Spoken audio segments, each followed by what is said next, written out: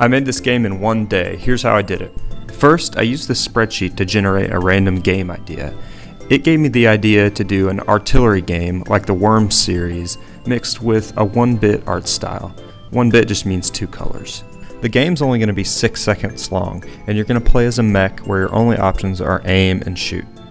I drew this environment in Aseprite, and then I also drew this little turret mech, which I used to program basic stuff like aiming and firing.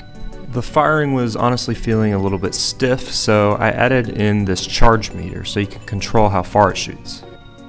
After that, I added some polish like the spinning missile and explosions, and then I needed to design the levels. So I carved out some more hills, uh, I added these hitboxes in so the missiles could detect the ground. I ended up making five different levels, each one getting slightly harder as you go. If you like small game designs like this, follow for more.